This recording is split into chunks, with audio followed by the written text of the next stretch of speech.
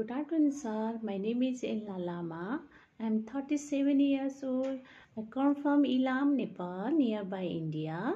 My qualification is 10 pass. My religion is Buddhist. My height is 5.2 inch. My weight is 60 kg. I'm married. I have six members in my family. My father, mother, husband, two daughters, and myself. One daughter is 16 years old, another daughter is 11 years old. I have experience taking care of elder people more than five years in Ilam, Nepal. Grandfather is 75 years old. He has a Alzheimer. I give of medicine in the time I changing the clothes and I give food in the time and take care of them.